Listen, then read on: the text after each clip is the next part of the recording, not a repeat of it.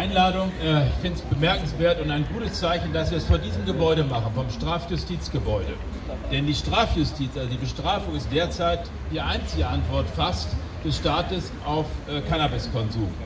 Und ich gehe eigentlich oft davon aus, ich habe drei Kinder, drei Töchter, die jetzt erwachsen sind, aber die waren natürlich nicht immer erwachsen. Meine größte Sorge war immer, das geht vielen Eltern so, eine der Töchter kommt nach Hause und sagt, Papa, ich bin jetzt seit neuestem, ich nehme gern Cannabis. Und was wäre die Antwort gewesen?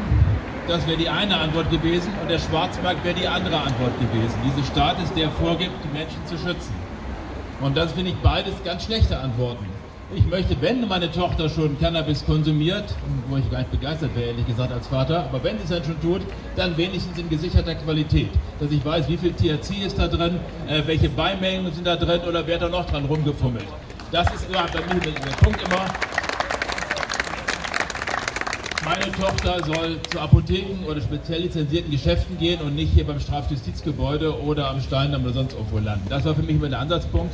Äh, so kann es nicht sein. Und darum haben wir als FDP vor, ich gebe zu, es war nicht immer so, aber 2015 gab es einen Beschluss des Bundesparteitags nach langer Diskussion, die genau das beschlossen hat. Wir wollen eine kontrollierte Abgabe von Cannabis zu Genusszwecken an Erwachsene in äh, Apotheken in spezialisierten Geschäften. Das ist seitdem ständig Thema und steht bei uns auch im Wahlprogramm drin und waren vorhin so halb optimistische Stimmen. Ich bin etwas optimistischer als meine Vorredner. Ich glaube, dass es in der nächsten Wahlperiode im Deutschen Bundestag durchaus Mehrheiten für mehr gibt, als wir bisher hatten.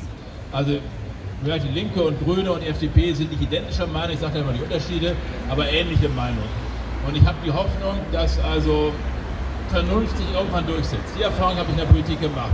Vernunft kann man eine Zeit aufhalten, man kann sie auf die Dauer nicht verhindern. Und die Vernunft spricht dafür, genau dieses zu tun. Zu sagen, wir wollen die Töchter von Wieland Schendenburg nicht zum Strafjustizgebäude schicken, sondern von mir zur Therapie, zumindest aber zu einer Apotheke, zum ähnlichen Geschäft mit kontrollierter Qualität. Das muss unser Ziel sein. Ich glaube, dass auch eine christliche Partei diesen Begriff hier im Namen trägt, christlich genug ist zu erkennen, dass das das Beste ist, was sie für die Menschen tun kann, dass sie eben nicht sie den Schwarzmarkt ausliefert, sondern eben in besserer Qualität arbeitet. Es wurde vorhin schon gesagt, Modellprojekte sind beantragt worden. Ja, ich war der äh, Antragsteller für meine Fraktion, weil ich der zuständige Fachsprecher bin. Äh, wir haben Anfang 2018 einen Antrag gestellt, auf Modellprojekte durchzuführen. Das haben wir uns nicht gemacht, das wurde uns ein bisschen übergenommen, nach dem Motto, jetzt geht ihr wieder zurück von der Position, ihr wolltet die kontinuierliche Abgabe gleich einführen, nicht erst ausprobieren. Das war für mich der Punkt zu sagen, die konservativen Parteien eine goldene Brücke zu bauen. Nach dem Motto, wir verstehen ja, emotional ist es für euch schwierig, sofort den ganzen Schritt zu machen, dann macht doch mal den halben Schritt mit dem Argument, was vorher noch kam, wir probieren es einmal aus, wenn es gut funktioniert, dann machen wir es. Und ich habe hingestellt, liebe CDU, wenn es schief geht, dann werde ich auch dagegen sein. Sehr sicher, dass es nicht passiert. Also die Modellprojekte waren von uns eingebracht worden Anfang 2018, nicht weil wir sie gerne Modellprojekte machen, sondern um den konservativen Parteien eine, eine äh, goldene Brücke zu bauen. Sie sind diese Brücke nicht gegangen. Wir haben Anhörungen gemacht und anderthalb Jahre lag es im Ausschuss. Am Ende hat die CDU und auch die SPD äh, das leider abgelehnt. Wir hatten Unterstützung von den anderen Fraktionen. AfD nicht, irgendwie zählt ja auch nicht so. Und deshalb aber, wenn es gescheitert war, haben wir einen neuen Antrag gestellt und der ist auch abgelehnt worden. Jetzt natürlich, äh, bitte macht eine kontrollierte Abgabe äh, für Erwachsene. Ich will nochmal die Argumente nennen, die zum Teil ja schon genannt wurden ich mache mal gern noch ein paar Sprüche, die man sich gut merken kann. Ja, also der eine ist zum Beispiel, ich habe deutlich mehr Angst vor einem Einbrecher als davor, dass mein Nachbar kifft. Mit anderen Worten, die mehr als 200.000 Verfahren, so sind es tatsächlich, 200, über 200.000 Verfahren gab es im letzten Jahr wegen Cannabisbesitz. Die, zum Glück wurden die meisten eingestellt. Da muss ein Polizist eine Anzeige schreiben, ein Staatsanwalt muss es angucken, ein Richter muss sie gegebenenfalls einstellen und auch, auch anklagen. Ja, die sollten sich mal lieber um die Leute kümmern, die möglicherweise mir in der Wohnung einbrechen. Da sind die Polizeiressourcen, glaube ich, wesentlich besser eingesetzt. Den zweiten Punkt habe ich schon genannt.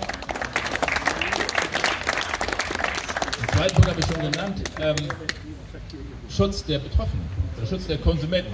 Ich habe es am Beispiel meiner Tochter genannt, das geht natürlich für jeden anderen auch.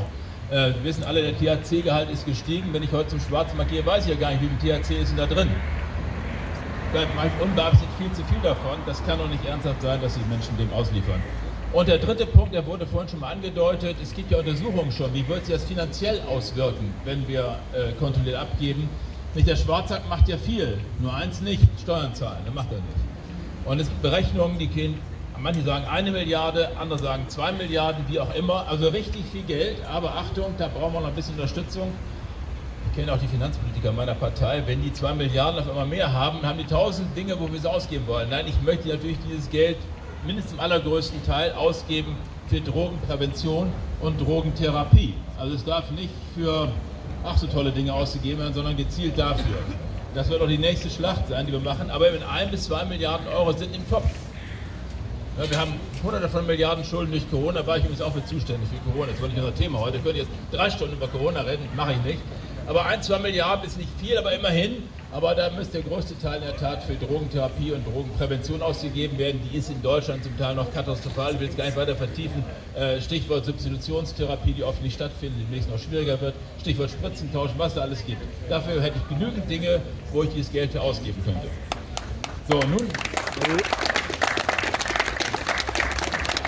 Dafür ich bisher gesagt habe, würden wir vermutlich mal äh, Linke und Grüne weitestgehend unterstützen, Teile der SPD klammheimlich auch. Es gibt sogar zwei Leute bei der CDU, man glaubt es gar nicht, die das auch unterstützen.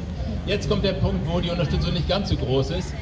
Äh, wir als FDP wollen die Wirtschaft fördern in diesem Land, damit Geld eingenommen wird, äh, Arbeitsplätze geschaffen werden.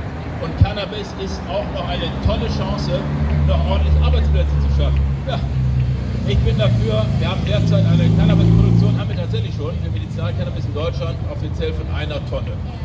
Medizinalcannabis wird verbraucht in Deutschland für 30 Tonnen. So viel, erstaunlich. Ich bin dafür, dass Deutschland Selbstversorger wird bei Cannabis und noch über den Eigenbedarf hinaus Warum produziert. Nicht, ja? Ich möchte gerne, dass in Deutschland in absehbarer Zeit 100 Tonnen Cannabis pro Jahr produziert werden. Also über den eigenen Bedarf hinaus und dass wir Cannabis made in Germany exportieren. Deutschland ist ein Exportland. Wir haben bisher Autos, Maschinen und viele andere Dinge äh, exportiert. Leider keine digitale Technik, aber immerhin. Und ich möchte, dass ein neuer Exportschlager für Deutschland Cannabis wird. Wir würden Deutschland was Gutes tun, noch mehr Geld einnehmen, Arbeitsplätze schaffen. Wir würden auch dem, der Bevölkerung der Welt etwas Gutes tun. Denn nicht nur in Deutschland sind Leute darauf angewiesen, unsicheres Cannabis zu kaufen. Wie viel schöner wäre es, wenn die gesichertes Cannabis made in Germany kaufen können. Das möchte ich gern unter anderem erreichen und dafür bitte ich auch ein bisschen. Vielen.